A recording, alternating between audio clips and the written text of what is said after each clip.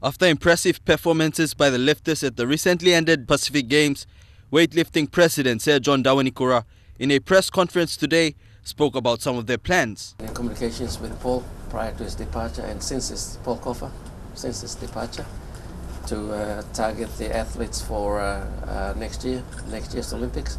We also have, uh, uh, apart from uh, attending the Commonwealth weightlifting championships in Pune in India in October, next year we'll start off with the Oceania Championships in Fiji.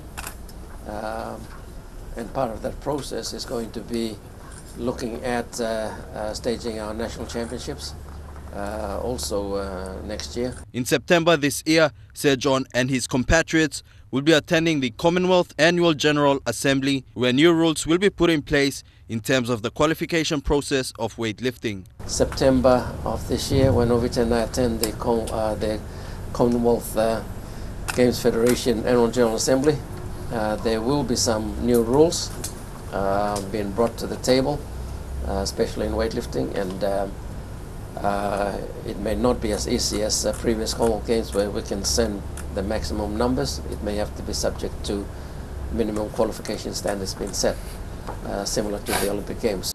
A high performance center will be built at the Sir Hubert Murray Stadium where the lifters can go to train. Yes, it's been uh, confirmed by the minister that, and uh, so, so uh, that uh, weightlifting high performance center will be at Hubert Murray Stadium.